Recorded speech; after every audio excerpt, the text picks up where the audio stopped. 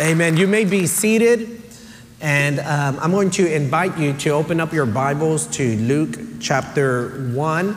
And, um, and then we're going to spend this afternoon in Luke chapter 1 and in Luke chapter 2. Hay una reson- resonancia que se oye. Um, Luke chapter 1 and Luke chapter 2.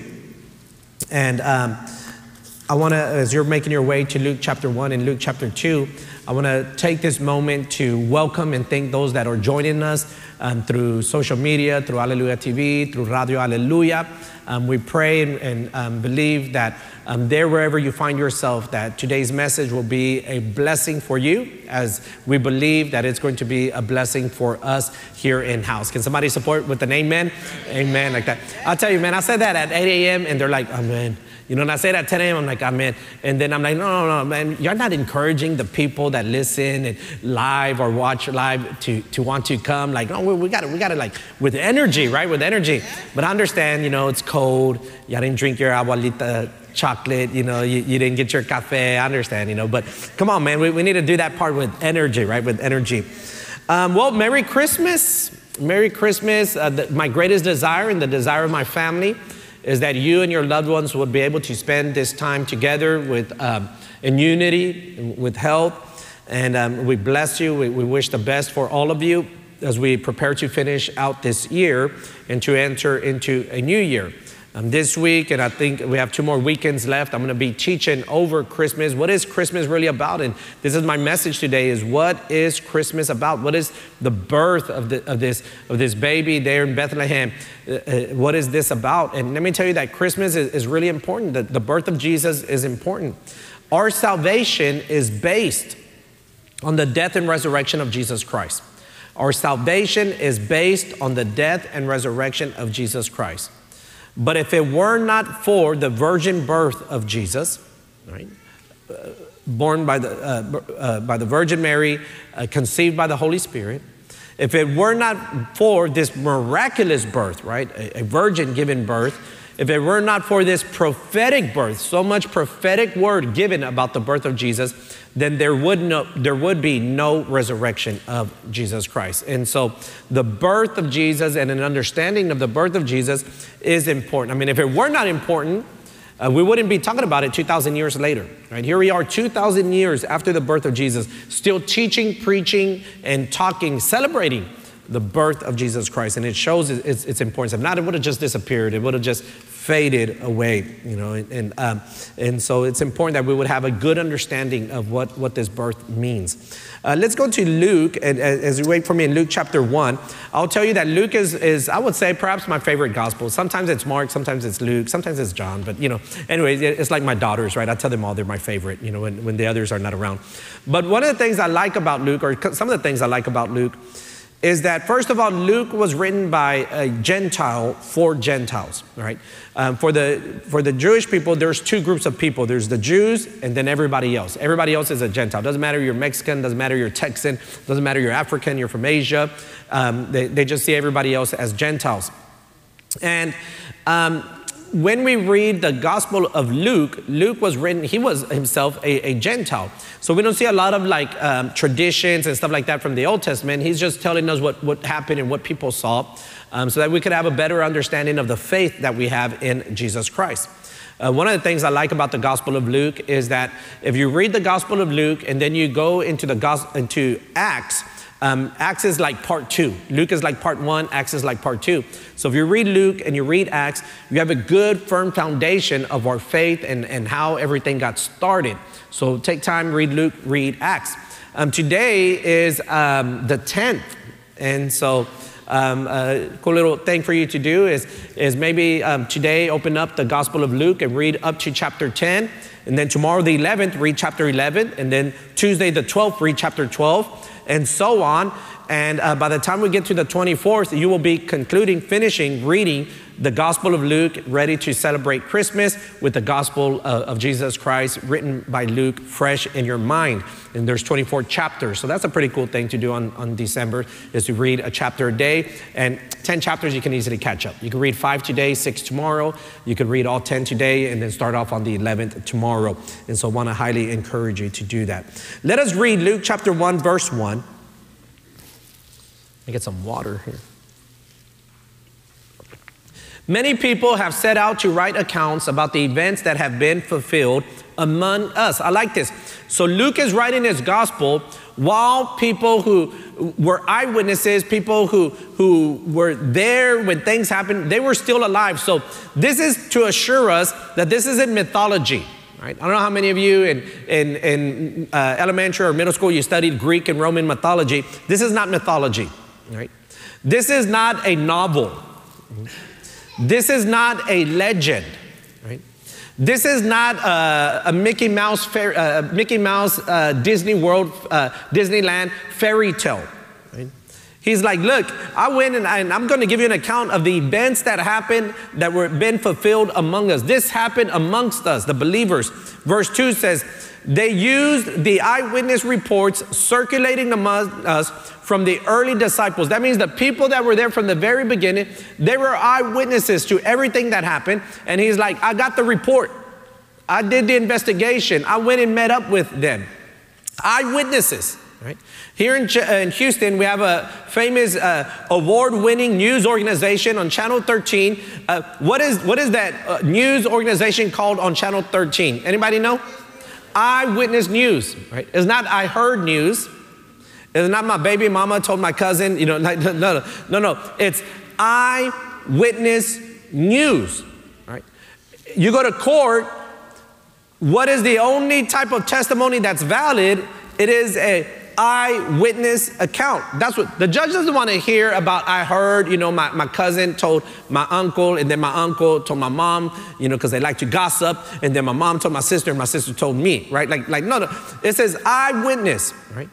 And this is what Luke is saying. He's like, look, what I'm going to present to you is the eyewitness account. I've gone in and investigated from the people that were there from the very beginning. Verse 3 says, having carefully, notice the word, investigated everything from the beginning, I also have decided to write an accurate account for you, most honorable Theophilus. When I read this, I like to sometimes take Theophilus out and put my own name because uh, it's the only time somebody calls me most honorable, right? So, most honorable Ruben. And it says, having carefully investigated everything from the beginning. Let me tell you something about Luke. Luke was a doctor, right? He was a physician. And a good doctor is a good investigator, all right? A good doctor is a good investigator. I often share this as years ago, this, this, I have bad allergies. And so this crazy weather that we have in Texas, oh man, it's horrible. When it's nice and you're like, oh, such a nice day, just know Pastor Ruben's suffering. You know, like I mean, that's, that's my life. And um, years ago, I had this cough and it was, man, I just could not shake this cough. And it just, it just lingered and lingered and lingered for months. I had this cough. And so I was taking allergy medicine. I was trying them all Claritin, Allegra, Zyrtec, you know, the ones with D's, the one without D's. I mean, all of them. Uh, somebody told me, oh, take this, uh, um, what do you call it? It's like the natural stuff. Uh, pathio, um, anybody know? Anyways, take this like a, supposedly like a natural thing or whatever. Okay. Um, I was taking Robitussin, like, like there's no tomorrow. Um, cough drops, man. I'm like, like every 10 minutes, I'm popping a cough drop. And man, this cough's horrible. And I'm like at church preaching and, uh, you know, like in, uh, a friend of mine, he, he, has gone to be with the Lord. He was like, Pastor, when you preach and you have to cough, turn the mic so it doesn't sound so horrible on radio. I'm like, okay. So I'm like practicing my technique of turning the mic around. My mom's like, mijo, ya ve con el doctor. Yeah, yeah, yeah. So this, this elder lady from our church is like, you know, Pastor, you had that cough for months you better go see a doctor. And I don't know why, you know, I was like, ah, my mom told me, now the anciana from church told me I better go. So I go to the doctor. I tell the doctor, I've had this cough for, for several months. I'm taking allergy medicines. I've taken Robitussin. I'm taking cough drops, and it, nothing's helping me. As a matter of fact, I feel like it's making me worse. So my doctor asks, he goes, Do you cough more in the day or at night? I'm like, what? I have a cough. I'm coughing all the time. He goes, Yeah, but do you cough more in the day or at night? I don't know. Well, at night, I suppose. And he goes, Okay, do you cough more when you're standing up and sitting down or when you lay down? Like, I don't know. I'm not paying attention. Like, I'm just coughing. He goes, Yeah, yeah, but listen, do you cough more when you're, when you're upright or when you lay down? And I thought about it and I go, Well, I think I cough more when I lay down. And he goes, Okay, you have acid reflux. He goes, Go to CVS, take this, you know, uh, you know over the counter, uh, I forgot what he recommended. And he goes, In two weeks, you'll be fine. You know what? Two weeks, man, it was gone. That, that, that's a good doctor. He, he didn't just, you know, like me, I would be a horrible doctor. Right? I mean, it would be a horrible. Like you come in and you'd be like, you know, doctor, my elbow hurts. I would be like, does it hurt when you do this? Yes. Okay, don't do that. No more. Like that. I mean, there, there we go. Like case solved, right? You know, I mean, that, that's the type of doctor I would be. And so five dollars for that consultation, right? You know, next, right? And you know, like, no, a good physician is a good investigator, and that's what Luke, Luke is. Luke is like investigator. He didn't just write this because he talked to one person, he talked to everybody that he could that was an eyewitness. He got first-hand account because he wanted to give us, notice verse 3, an accurate account. Right? An accurate account. Verse 4. So you can be certain of the truth of everything you were taught.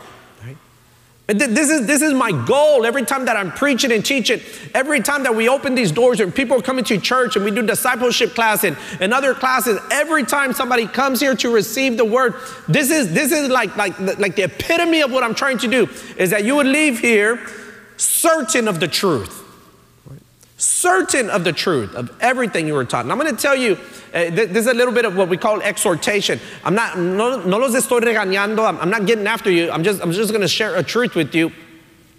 Is that we live in a day and age, especially here in America, where we have access to more Bibles than any other time in the history of the world. We have access to more sound doctrine in books and teachings and preachings, YouTube, internet, books, articles, magazines than any time in the history of the world. And yet we are more Bible illiterate than perhaps any other time in the history of the world. We know less about the Bible. With all of these resources, we know less about we, we know the average person in the average church knows very little about the Bible. If I was to say, let's go to St. Ruben chapter 2, I'll be there in a minute, man would finish service and they still would be looking for St. Ruben chapter 2. Mm-hmm. That doesn't exist. It's not in the Bible. Luke writes these things that we will be certain in what we believe. Right? Let's go to chapter 2. Luke chapter 2, verse 1. At that time, the Roman Emperor Augustus decreed that a census should be taken throughout the Roman Empire. Now, at this time, Rome pretty much rules the world, all right? There were sayings that said, like, the sun never sets on Rome. That means wherever the sun was, Rome rules. There were other sayings that said, all roads lead to Rome because they just kept conquering and then they would start commerce, right, with the countries they were conquering. And so they needed roads to go back and forth, send soldiers back and forth, commerce back and forth, spices and gold and silver back and forth. Verse 2 says this was the first census taken while Quirinius was governor of Syria. 3. All returned to their own ancestral towns to register for this census, right? We do a census here in America every 10 years. I don't know if you know that. I hope you participate in it. But every 10 years we do a census. And you should participate in it because it helps us to know where to build roads, where to build schools, hospitals, and send the resources. But we do it from the comfort of our home. little card, you send it in. Or I think you can even do it online. But here, you have to go back to your ancestral town. Right? You have to go back from where your gente came from. Right? You have to go back to El Rancho. I think my family would go back to Falfurrias. I don't know where we would go. Verse 4. And because Joseph was a descendant of King David, he had to go to Bethlehem in Judea, David's ancient, ancient home. He traveled there from the village of Nazareth in Galilee. Now, we spent several months studying the miracles of Jesus as recorded in the Gospel of Mark, and I showed you how Jesus spent most of his time in, um, in Galilee right? And the, the majority of his miracles happened in, in Galilee. Jesus the Nazareth, Jesus from Jesus the Nazarene, Jesus from um, Nazareth. So we know where Jesus was from, but to fulfill prophecy, one, he came from the tribe of Judah. Two, he's a descendant of David. Three, he was born in Bethlehem. You remember last week we studied the wise men, and when the wise men showed up with King Herod, Herod asked the scribes, Where is the king of the Jews supposed to be born? And they told him, It's written in Bethlehem. And this is how Jesus ends up in being born in Bethlehem. Though his family by this time had lived in Galilee, he's born in Bethlehem. Right? There's no coincidence, God working. Verse 5 says, he took with him Mary, to whom he was engaged, who was now expecting a child. Verse 6 And while they were there, the time came for her baby to be born. So, this is how the baby is born in Bethlehem and not in Nazareth. Verse 7 says, She gave birth to her firstborn son. She wrapped him snugly in strips of cloth and laid him in a manger because there was no lodging available for them. I, I want you to notice this very first phrase, right? She gave birth to her firstborn son, right? Why would it be pointed out that she gave birth to her firstborn son? Like, why would it use that term, firstborn son, as opposed to just saying she gave birth to her son? Because if there's a first, then there's what? There's more, right? There's more. And, and, this is what, what, the, what the gospel is, is uh, uh, what Luke is alluding to, right? Um, and so she gave birth to her firstborn, and then they wrapped him snugly in these strips of cloth and laid him in a manger because there was no lodging available for them. They went, they went to uh, Holiday Inn Express, they went to La Quinta, they went to the Marriott. They went to all the hotels in Bethlehem. Let me tell you, Bethlehem's a little, little town. And because of the census, all these people showed up. And when they went to look for a room, my wife is pregnant. My wife is about to give birth. People were like, sorry, sorry, sorry. More than likely, more than likely, they were in, in a cave where they would keep sheep, they would keep animals because in Bethlehem, that's where um, they have flocks of sheep. And um, this, this, this means something, right? That, that, that he was snugly, wrapped snugly in strips of cloth. I remember years ago, my, my dad was like, you know, this, this means something. Like, like there's a, a meaning behind this, right? The Bible doesn't just show us something just to show us something. And, um, well, I'll, I'll, share something with you in a minute, but let's go to verse 8. It says, I'll, I'll get back to the, to the clause. It says, That night there were shepherds staying in the fields nearby, guarding their flocks of sheep. And suddenly an angel of the Lord appeared among them, and the radiance of the Lord's glory surrounded them. They were terrified. So remember, they're in Bethlehem, and in Bethlehem, there, there's a lot of, uh, that's where they prepare the sheep or the lambs that are going to be sacrificed in the Passover, all right? And so the shepherds are out there shepherding. And, imagine in the middle of the night, like it's dark, and then all of a sudden, these angel, this angel appears, the glory of the Lord, the radiance and glory of the Lord appears. I mean, I'd, I'd be terrified myself. Verse 10 says, But the angel reassured them, Don't be afraid, he said. I bring you good news that will bring great joy to all people. Now, notice this is good news that will bring great joy. Is it, is it Disney that they say is the happiest place on earth? Is it? You know, Disney has that, that that's like their slogan, it's the happiest place on earth. You, you know where, where the happiest place on earth should be? This should be the happiest place on earth. Why? Because this is where we proclaim, this is where we teach, this is where we preach good news, right? The good news that will bring great joy, right? So when we come to church, I mean, we should be happy, we should be excited. Uh, I, I, know when I was a, a, a, kid, certain times in my life, especially when I was a teen, certain times in my life, going to church was like a chore. Going to church like, oh, I'm gonna go. I mean, we had church like all the time. We had church like the morning, Sunday morning, Sunday night, Wednesday, Fridays, Saturday morning, Saturday night. All the kids, you know, they'd watch these shows Friday nights and Saturday nights. And um, then Monday, you know, and Sunday they'd show up to school and talk about them, like Knight Rider. I never got to see Knight Rider. One time I said this in church, back when Pueblo's church was first starting, I was like, man, I never got to see Knight Rider. Somebody bought me the whole collection of Knight Rider on DVD. I'm like, that's not why I say these things. I'm just sharing with you. I'll, I'll tell y'all something true. Five years ago, five years ago is when we stopped Sunday night service so we could add uh, Pueblos at 12. That was the first time, five years ago. I'm, I'm 48 young, all right? Five years ago was the first time that I got to watch the Super Bowl live. Because we're always in church. We're always in church. So my brother in law, Renee, would record it, and my dad and I, after church, would go home eat and, and watch the Super Bowl pre-recorded. And of course, by that time, somebody at church had already ruined it for us, told us who'd won and was the score. My dad would be like, no me digan, you know, like my dad would get all mad, you know, but the kids, you know, they don't know. And so anyway, so barely five years ago, was the first time I ever saw a Super Bowl live, you know, and, um, but you know what? Let me tell you that at the end of the day, at the end of the day, when you and I are like pushing 90, pushing 100, and we're laying on that bed, somebody say amen, right? You're like that, okay. And we're laying on that bed about to say goodbye to our loved ones. It's not gonna matter to you how many times you went to the club. It's not gonna matter how many times you, you know, you watched Knight Rider, how many Super Bowls you watched and had fajita. You know what's gonna matter? It's how much time you spent in the presence of the Lord. Right? How much time you spent in the presence of the Lord. When you're about to be face to face with the Lord, you're going to want to know, you're going to want to be able to say, you're going to want to be able to be presented as someone who is good and faithful, right? Who spent time in the house of worship, worshiping the Almighty, right? And so this good news brings great joy to all people. And I was sharing this in the other services, you know, that some people have a problem with all people coming into church. Some people think that church should just be for like the good ones, the saved. But really, church, church is for the sick, church is for, for, for the lost, right? I, I will say this publicly. Right?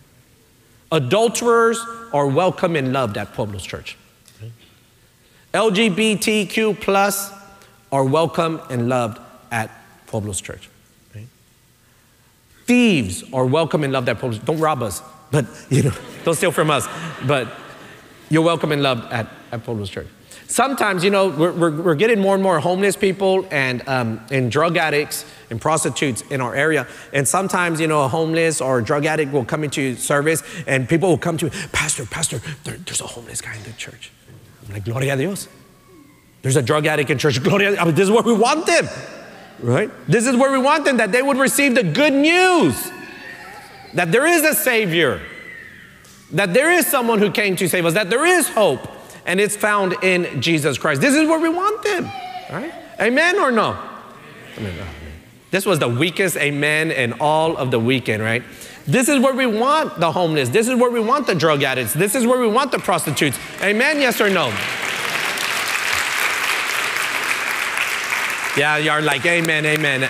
As long as they sit over there, right? like, not on my bench. All right, all right, let's move on. Okay. Verse 11. The Savior, yes, the Messiah, the Lord, has been born today in Bethlehem, the city of David. And you will recognize him by this sign. You will find a baby wrapped snugly in strips of cloth lying in a manger. Notice that this was like some type of sign, this being wrapped in these strips of cloth.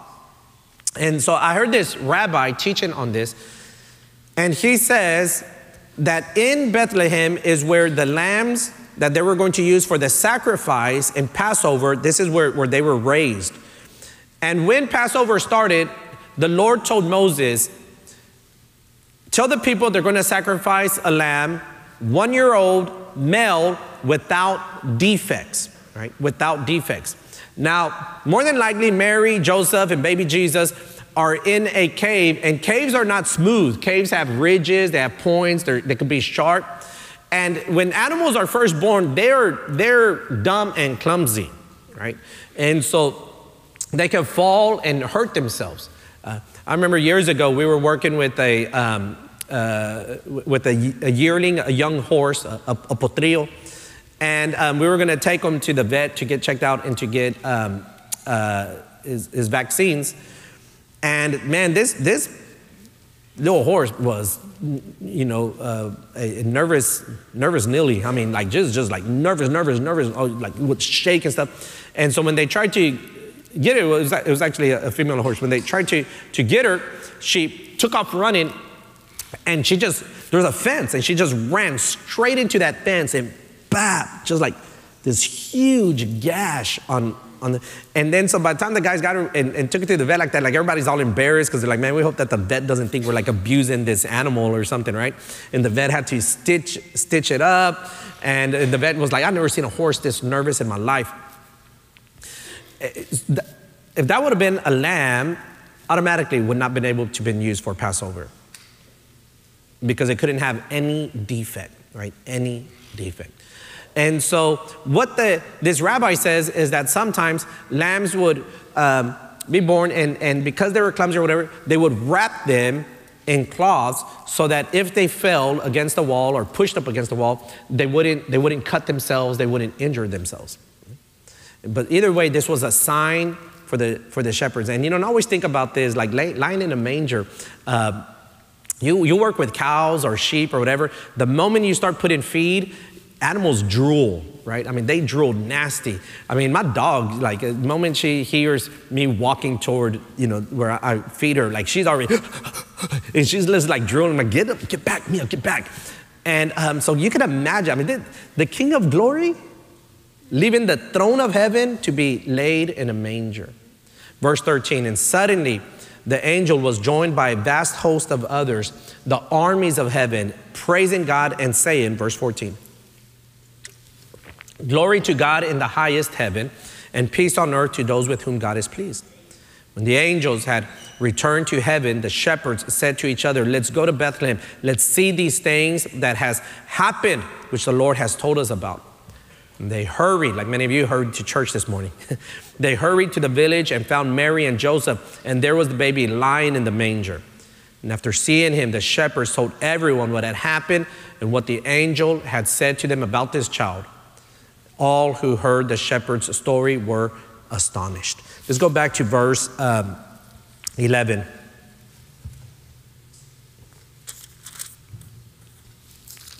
The Savior, yes, the Messiah, the Lord, has been born today in Bethlehem, the city of David. I want to talk about these three words Savior, Messiah, and Lord. Savior. Jesus is the Savior. As a matter of fact, the name Jesus, that's what it means. It means Savior. Why would God send the Savior why would God send the Savior, who is the Messiah, who is the Lord? Why would He come to this world? Because you and I needed to be saved. Right? You and I needed to be saved. Salvation was needed. Therefore, God sent the Savior. And the Savior came to save that which was lost. Jesus said, I came to find and save that which was lost. And amongst that which was lost were you and I. And therefore, the Savior came to save us. And oftentimes, when we talk about salvation, people think about salvation as this moment in our lives. I share often about about the age of 12 years old. We were in a church over on 225 and our Sunday school teacher talked to us about salvation, and I gave my Lord to Jesus, and I was saved. And, and you may have a similar story. Maybe you were in church and we talked about salvation, and, and you gave your life to Jesus. Maybe someone one on one talked to you about Jesus, and you gave your life to Jesus. Uh, you, were, you were saved, and oftentimes we think that that's what salvation is about. But let me tell you three things about salvation. One, we were saved Two, we are being saved. And three, we will be saved. Past, present, and future. That moment in time you were saved, that we call justification. You were justified by the death and resurrection of Jesus Christ. But now you are being saved. There's a process that's happening in your life, and that is called sanctification. God is sanctifying you. Scripture says, He who began a good work in you will carry it on unto perfection until the day of our Lord and Savior Jesus Christ. God is working with you. Let me give you an example. Some of you, before you came to the Lord, before you put your faith in the death and resurrection of Jesus Christ, before you started coming to church, man, you used to cuss a lot, like a lot, like a hundred times per day. Right? Fast forward one year, serving the Lord, and now you curse only 25 times per day. Right? there, there, there's a change happening, right? There's a transformation. And, and in a year or two years, all, all of a sudden, like, like those words are no longer part of your vocabulary, right? Instead of cursing, you will be blessing. Instead of speaking death, you will be speaking life. Instead of destroying and tearing down, your words will lift up and edify. And before you know it, you who, who, who cursed so much In the past, people are going to say, man, your vocabulary has changed. Yeah, because the Lord is sanctifying you. I have a loved one in my life that before coming to, to the Lord, he drank. He drank. He even had a nickname, and his nickname was based on the fact that he drank so much. And his life has changed a lot, that he no longer reflects that person. Why? Because sanctification is happening. The Lord is working in his life. And there are certain things that happen in our lives that the Lord is changing in our lives. Some things happen immediate, some things is a process. For some people, there's immediate radical change. For other people, there's a process that's occurring. If we look at the life of Saul of Tar- Tarsus, Paul, he had an encounter with Jesus and immediately his life was radically changed. We look at Peter. Peter walked with Jesus. He was one of the original 12 disciples, 12 apostles. Yet we see at the end, he denies Jesus three times and then had to be restored. There was a process in the life of one and immediate change in the life of another. I don't know what God is working in your life, but you should be able to see hey, things are changing in my life. Some things are changing rapidly, some things are taking time, but the Lord is sanctifying me through His Son, Jesus Christ. And then the last thing is that you will be glorified. One day we will close our eyes to this world and we will open our eyes in the presence of the Lord. And a few months ago, we saw that we will be presented with gladness before the Lord. We will be presented with great joy before the Lord. And that we call glorification. Sin won't be a part of our life, temptation won't be a part of our life, sin won't even be a thought in our life because our, our, our, our lives will, will be so radically transformed that, that we will look like the Son of God, Jesus. Right? So there's you were saved, you're being saved, you will be saved, you were justified, you're being sanctified. One day you will be glorified. Justification, sanctification, glorification. The next word I want you to look at, it says the Messiah. Right? Most of your Bibles, if you don't have a New Living Translation, says the Christ. We're about to celebrate Christmas, right? We get Christmas from the word Christ. Now, the New Testament was written in Greek, the Old Testament was written in Hebrew, and so Christ is a Greek word, Messiah is a Hebrew word, and they mean the same thing. They mean anointed one. When we say Jesus the Messiah or Jesus the Christ, it means the same thing. But what we're saying is Jesus is the anointed one, right? The anointed one. This isn't just any Savior, this is the anointed Savior. In other words, this is the official Savior of God. Others can pretend, others can say, Well, I'm the Savior, I came to save. No, no, no. There's one official Savior, right? His name is Jesus Christ. And so in the Old Testament, there were three types of people that were normally anointed. The prophets, they were anointed. And the prophets represent the word of God. And um, John starts off his gospel by saying, In the beginning was the Word, and the Word was with God, and the Word was God. And then we have Moses, who's considered one of the great prophets. He says, One day, one like me from amongst you will come. In other words, Moses is saying, like, I'm pointing to someone else. He was pointing to Jesus, right? So the other group that was anointed were the priests, right? The priests, they were anointed. And there are priests, but then there is what we call the high priest. And Jesus is the high priest. In Spanish, we call him sumo sacerdote. Right? You graduate from the university, and vast majority of people graduate from the university with just normal, regular grades. And then some people graduate with honors, they call that cum laude. And then some people graduate with high honors, they call that summa cum laude right? I know some of you are asking, Pastor, how did you graduate? I graduate, praise the Lordy, a panzazos, but you know, C's get degrees, I got through it, right? You know. But summa, it means high, right? Jesus is our high priest, and the high priest is our leader in all spiritual matters. I was on an airplane once, and um, there was this guy, and, he, and uh, I don't know how he, I, I, think him and the flight attendant had like a mutual friend. So at certain point, she comes and she sits with him and they're talking. And then somehow they start talking about spiritual matters. So of course, my ears are like, you know, we're in a flight, you're talking loud. It's not my fault, I'm nosy, right? And, uh, and so he says, well, you know, like I don't really consider myself religious. I consider myself more spiritual. And, and, she says, she goes, you know, she goes, me too. Yeah, I'm, I'm, I'm like more spiritual. He goes, yeah, you know, so I've been like on this spiritual journey right? And she's like, yeah, yeah, like me too. Yeah, I believe that too. And he's like, you know, because I just want to grow spiritually. And she's like, yeah, yeah, yeah, that's amazing. That's awesome, you know, like that. And um, when, anytime I hear someone say, I'm, I'm not religious, I'm more spiritual, I always like to ask, what does that mean? Well, you know, like spiritual. Okay, yeah, thank you. What does that mean? Well, you know, like, like I believe we're spirits. And just like, okay, what does that meat, right? I mean, you, you start peeling the onion, right? You start peeling the, that's not a very deep onion. I can tell you that much, you know. Anybody who's like spiritual, man, that onion is, is, is, is flaky, you know, like you just get two, two or three layers and all of a sudden, you know, they're, they're, we're spiritual beings. C.S. Lewis says, uh, used to say that we are spirits with a body, not bodies with a spirit. Right? We're spiritual beings. We were created in God's image. This body is temporary.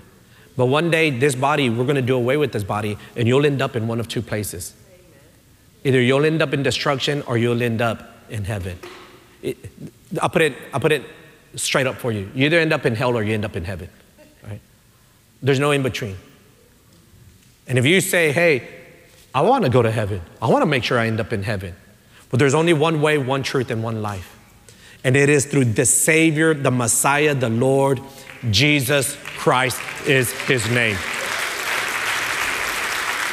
And Jesus says, No man comes to the Father except through me. A religion cannot save you, a pastor cannot save you, a pope cannot save you, a saint can't save you, a virgin can't save you, being spiritual can't save you. But Jesus Christ came to find and save that which was lost. Jesus came to save us. The priests were anointed, they represent the leaders in all spiritual matters, and the kings were anointed, and they represent the leaders in all earthly matters. Right? We live in this world, but we're not of this world. Right? Tomorrow we go to school, tomorrow we go to work, we hang out con los compadres, but don't be out there acting a fool. Right? You're a believer in Jesus Christ. Your words, your walk, your talk, your actions, your reactions should reflect you're a believer in Jesus Christ. Right? You're at work, and the men are talking about women in a certain way or cursing or whatever it is, or they're lying, stealing, cheating, or they're doing what with who knows who behind whose barn, and nobody wants to clean it up, you need to remember you're a child of God. Okay? You're with your friends, and they like to celebrate Christmas a certain way, and they like to celebrate their kids' birthdays a certain way, and they like, you need to remember that you're light in the world, you're salt in the world, you're a child of God and our life should reflect it. You're married, you need to remember you're light in the world, you're salt in the world, and your life should reflect it. Right? And so, because we have a king, and one day we will have to answer to that king. As a matter of fact, one day the world will answer to that king. And the words I want to hear heard, the words I want to hear said, and the words you're going to want to hear is going to be, Well done, good and faithful servant. So we believe in Jesus. Let us live our lives as if we believe that Jesus is the Messiah, prophet, priest, king. Speaking of king, the third word I want you to look at is the word Lord, the Lord. What does Lord mean? Lord means king, it means master, it means possessor. Colossians says that everything was created by him for him. The world, the sun, the star, the moon, uh, the universe was created for, by Him, for Him, This world was created by Him for Him. You were created by Him for Him. Everything beautiful, everything that, that pertains to creation, anything ugly that's part of creation, somehow or another was created by Him for Him. Your boss that gets on your last nerves was created by Him for Him. Your wife that you're praying for to come to church, your husband that you're struggling with every time you come to church and he doesn't want to come to it was created by Him for Him. And when you and I confessed Jesus as Lord, what we were saying is that from here on out, I'm surrendering everything in my life. I'm surrendering my resources. I'm re- surrendering my, my feelings, my emotions, my body, uh, my marriage, my family, everything about me. I'm surrendering it to you. You are now the owner of my life, and I'm your slave. That's what literally it means. But in God's mercy and God's grace, He doesn't treat you like a slave, He accepts you as a son and daughter. The Bible says that we would be brothers to Jesus and Jesus first amongst us. Man, how powerful these words, Savior, Messiah, Lord. When we talk about Jesus coming as the most vulnerable amongst us.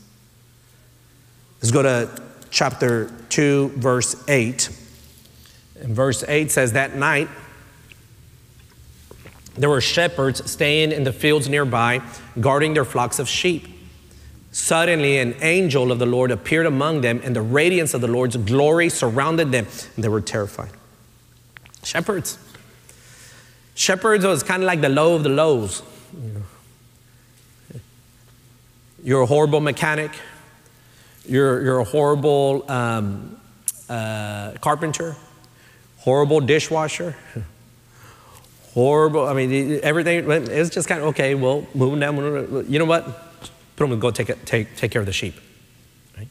I mean, this was like the job that they gave to low skilled, they gave it to either kids or to the elderly or people who were low skilled. I mean, you know, think about it right now. You ask a kid, what do you want to be when you grow up? You know what? The, I want to be a police officer. I want to be a doctor. I want to be a lawyer. I want to be an engineer. 2023, I want to be a gamer. Dios reprende ese espíritu.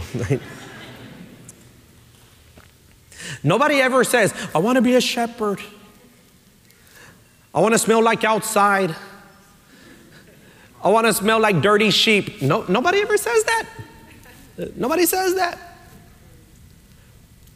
You would think that the King of Glory came to this world, and you would think that, hey, last week we studied that the wise men came, the Magi, these were dignitaries. That made sense to me.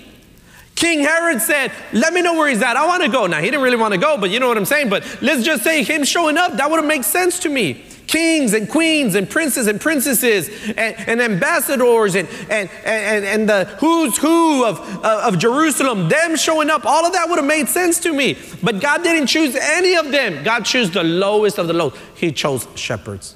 I'm going to remind you of Genesis, and in Genesis, there's a young man by the name of Joseph, and his brothers hate him. He's the youngest, he's his dad's favorite. His brothers hate him. He's one of the youngest, his dad's favorite. They end up selling him as a slave. He ends up in Egypt. In Egypt, he becomes the most powerful man in Egypt. Number one behind Pharaoh. And as a matter of fact, he was over Pharaoh because the Bible says he was like a father to Pharaoh. He advises Pharaoh on certain things, and Egypt becomes perhaps the most powerful country in the world, filled with riches. And there's a tremendous drought, and people have to show up to Egypt to buy food. And somehow his brothers show up, they reconcile. He tells his brothers, "Come back, come over here. While I'm here, man, you, guys, you guys haven't made in the shade." And he's like, "Bring my dad, bring everybody." And when they came to Egypt, they didn't necessarily stay in Egypt. They stayed a little bit outside of Egypt. Because God's children, we're in the world, but we're not of the world. And there's always a little bit of a separation between us and what's happening in the world. And so they stayed outside. And the way they, you know, because I'm pretty sure the way Pharaoh saw it was Joseph, if your brothers are anything like you, man, we're going to dominate the world. Bring your family. But Joseph had another plan to keep his family innocent, to keep his family distinguished different than Egypt, apart from Egypt. Him and his brothers come and present themselves before Pharaoh. And when Pharaoh says, What, what do y'all do? You're doctors, you're engineers, you're lawyers, you're, you're, you're attorneys, what are y'all? They were like, We're shepherds. Oh, well, you guys can go over there. Because for the Egyptians, like being a shepherd, I mean, that's the lowest of the low. Nobody wants to do that. And Pharaoh's like, Yeah, you take care of my stuff, but take care of it over there. That's who God chose. We spent about three months studying all of the miracles of Jesus as presented in the Gospel of Mark, and we saw Jesus over and over deal with people who were rejected. The woman with the blood flow, she, it was not allowed for her to be amongst the people, yet Jesus received her.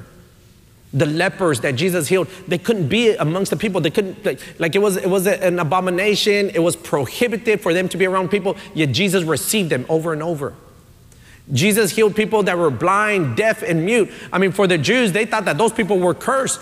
There's a, there's a story in the Gospels where there's this man that was born blind, and the disciples come and ask Jesus, Teacher, who sinned? Him or his parents? Jesus is like, Neither. Jesus received tax collectors they, they were seen as sellouts because they were Jews who worked for the Romans and they were collecting the tax money and they would take a little extra, extra for themselves. Jesus received a woman that was caught in the very act of adultery, and instead of condemning her, he saved her. Jesus meets a woman at the well in Samaria. The Jews hated the Samaritans, but Jesus said, It's necessary that I go to Samaria. And then he meets this woman that had had five husbands and she was living with the sixth dude. And Jesus still received her. Fast forward 2,000 years later, and Jesus received us. Right? Still receives the rejected, still receives the outcast still makes room for the rejected, still makes room for the outcast. Oftentimes, I'll talk to people about the things of the Lord, and many times people will say in Spanish, they'll say, Me siento tan alejado, which means I feel so far away from the Lord. Let me tell you, the Lord will still receive you. I'm born and raised in the church, a very imperfect individual. I know what it's like to be out Friday night and Saturday night and then show up to church and feel like a hypocrite, raising my hands, singing and worshiping and opening my Bible. But Jesus still receives and forgives the sinners. I know what it's like to have circumstances in my life that are so difficult that the attorneys cannot do anything for you, the accountants cannot do anything for you, the doctors cannot do anything for you. But Jesus is still our hope and he still receives the lost. He still lifts up the fallen. He still strengthens the weak. He still heals the sick and he still saves the lost. And that's why we're here this afternoon. Can somebody help with an amen?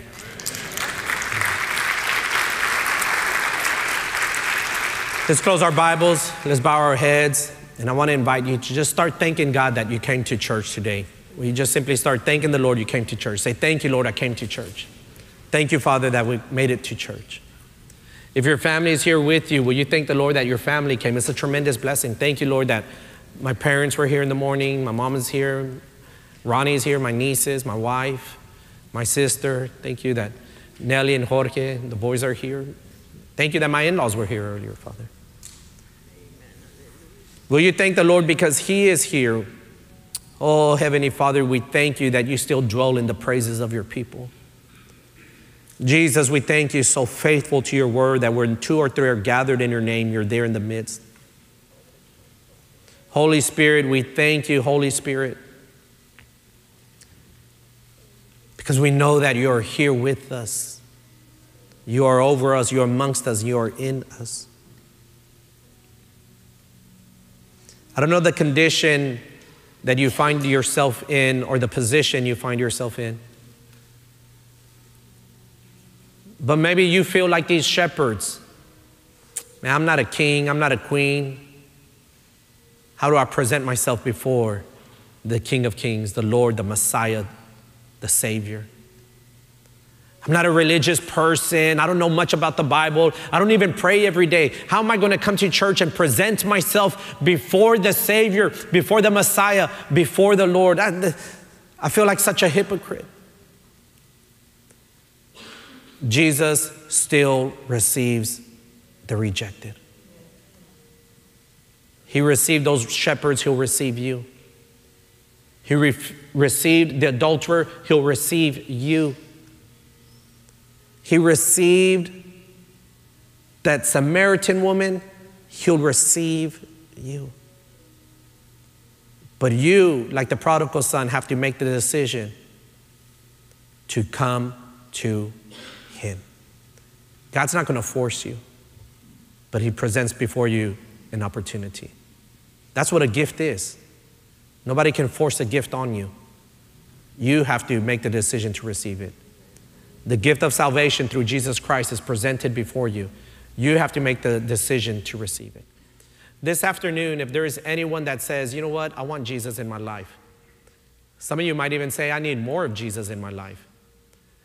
In an act of faith, would you raise your hand and would you say, I need Jesus in my life? I see you on my left, I see you in the middle, God bless you. Up in the balcony, many hands in the balcony. On my right hand side, God bless you. In the back, here in the middle, God bless you. You know what's more important than the pastor seeing you? Is his eyes are on the sparrow, his eyes are on you. I want to invite everyone, let's confess our faith together. Will everyone repeat this prayer with me? Say, Father God, I thank you that I made it to church today. And I confess with my mouth what I believe in my heart. Your Son, Jesus Christ. He is the Savior, the Messiah, the Lord. And I believe with all of my heart that He died on the cross to pay the price for my sins. He was buried, and three days later, you resurrected Him. And because I confess and believe this, you promise me salvation. And with salvation, there are promises promises of a new life, promises of abundant life, and the promise of eternal life. And I receive it all in the mighty name of Jesus. In Jesus' name we pray. Amen, amen, amen. Let's give the Lord some.